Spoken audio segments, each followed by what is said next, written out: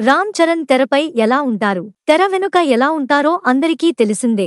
ఈ mega power స్టార్కు జంతువులంటే ఎంతో ఇష్టం. తన వద్ద ఆరు కుక్కలున్నాయని చెర్రీ అన్నారు. ఇక రెండు గుర్రాలున్నాయని అందులో ఒకటి బాద్షా అని దాన్ని మగధీరలో వాడామని అన్నారు. ఇక రెండో దాని పేరు కాజల్. కాజల్ను తన ఫ్రెండ్ చనిపోతూ తన చేతుల్లో పెట్టేశారని తెలిపాడు. ఆ గుర్రం కళ్ళు మొత్తం నల్లగా ఉంటాయని అందుకే కాజల్ అని పెట్టామని అన్నాడు. మగధీరలో రెండు గుర్రాలను వాడామని అందులో కాజల్ హీరోయిన్గా రావడంతో ఈ గుర్రాన్ని పిలవడం కూడా ఇబ్బంది అయిందని రామ్ చరణ్ సెటైర్ వేశారు.